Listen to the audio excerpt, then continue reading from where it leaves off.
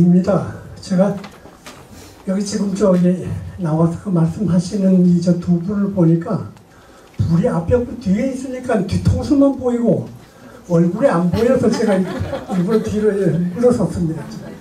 보이라고요. 저기 불이 없으니까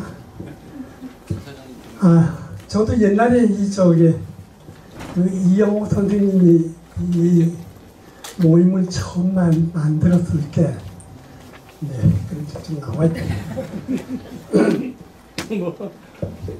아, 더 나와야 하면 옆에. 네. 그래, 되겠네. 근데 근래에는 그 보통 뭐 제 코가 대자라고 대자라고 그러죠. 저도 뭐 조그만한 그 저 모임을 하나 가지고 있다 보니까 너무 바쁘고 이래서 제가 여기 잘 못 나왔어요.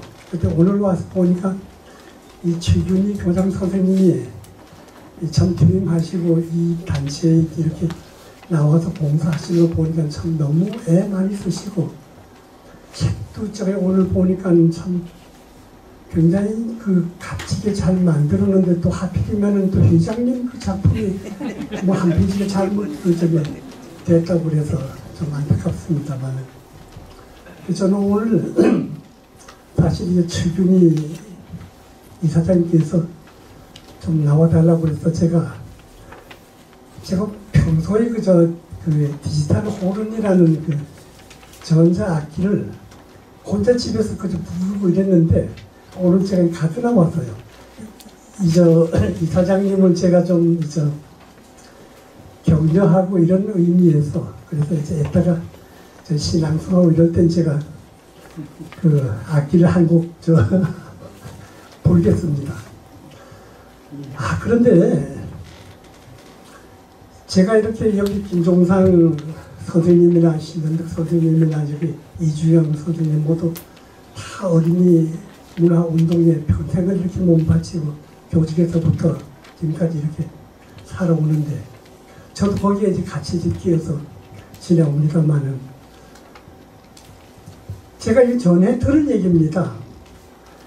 다른 이제 미국이나 영국이나 독일이나 일본이나 이런 그 나라에서는 이런 문화 운동을 하는 사람을 사회에서도 많이 도와주고 국가에서도 많이 도와준다고 하는데 우리나라에서는요 정말 이런 어린이 운동을 한다든지 뭐 문화 운동을 한다고 하면은 제일 그걸 시시하게 보는 거예요. 무슨 정치다 무슨 이제 기업들이 하고 있는 뭐 경제다 뭐 하면은 온 나라가 떠들썩거리면서 그러면 다 하는데 어린이 운동을 한다. 어린이를 위해서 뭘 한다 하면은 그걸 뭐 시덥잖게 보는 거예요. 이게 참 너무 안타깝습니다. 그래서 저희들도 여기 모두 다 평생을 어린이를 위해서 좋은 글을 쓰고 또는 노래를 만들고 이러지만은 어린이를 위한 그런 글이나 노래가 어른들에게는 입으로는 그렇게 참 필요하다 하면서도 이 아이들에게도 잘 보급이 안 되고 어른들은 무시하고 이러고 있어요. 근데 그, 그 중에서도 또 아주 속상한 일을 제가 하나 그 발견한 게 뭐냐 하면은 여기 오신 분들은 다 아시겠지만은 우리나라 그 방송 시행법이라는 게 지금 그 방송을 그 운영하고 있는 법이에요. 실질적으로 하는 법에 말 한마디가 잘못되는 게 있어요. 있어요. 그게 뭐냐 하면은 모든 음악은 모든 노래는 이런 말을 갖다가 그분들이 그냥 습관적으로 모든 가요는 이렇게만 이름을 붙인 거예요.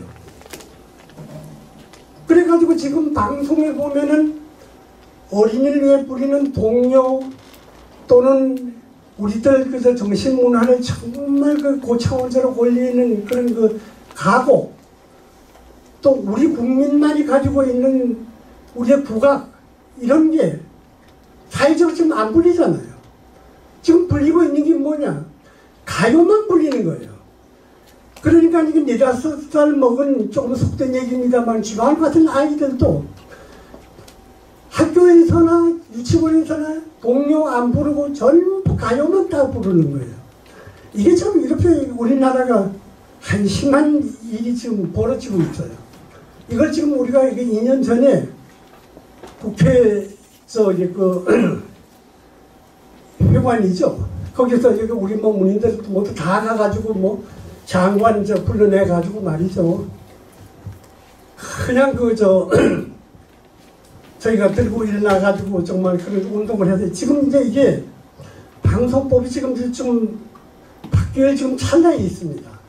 이게 빨리 바뀌어서 모든 노래는 또는 모든 음악은 이러면은 그 안에 동요, 국악, 가곡이 다 함께 들어가가지고 지상파 방송은 물론이고 모든 방송에 가요와 같은 자격을 가지고 거기에 방송이 되고 불릴 수 있도록 하는 그런 그 운동을 지금 저희가 전개를 하고 있습니다.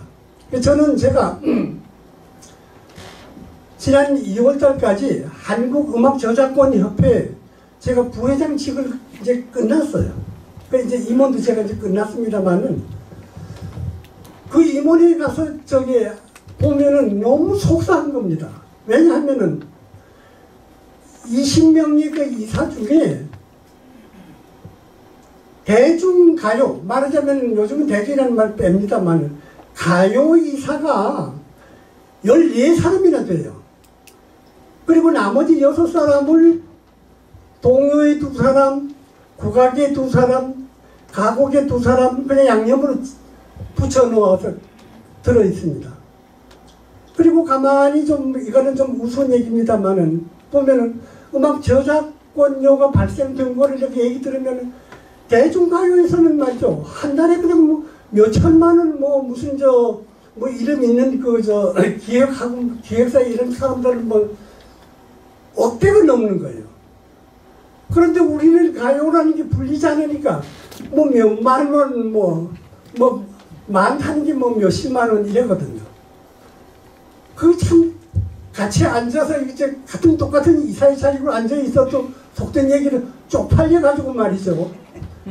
너무 속상한 거예요.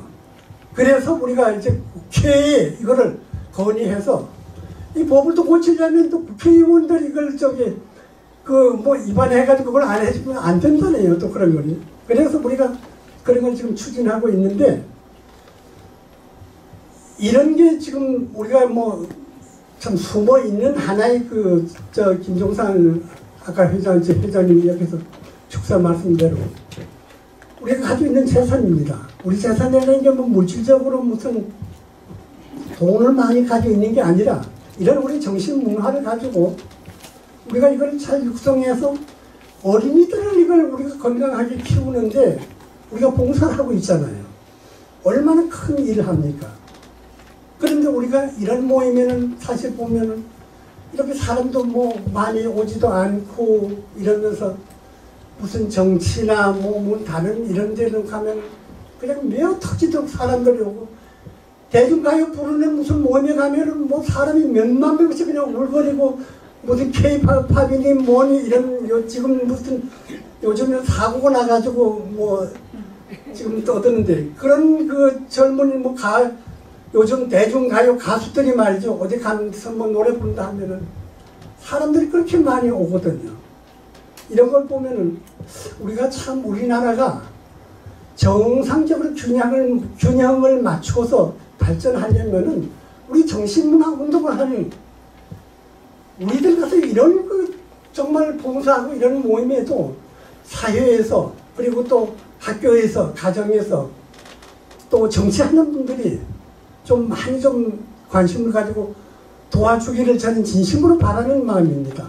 오늘 여기 오신 분들은 정말 일강백으로 여기 오신 분 한 분이 단 모임에 100사람보다도 더 큰 그런 힘을 가지고 여기 오신 것을 진심으로 감사합니다. 고맙습니다. 네, 이야기 감사합니다. 드려서 죄송합니다. 아, 예, 예, 선생님이 말씀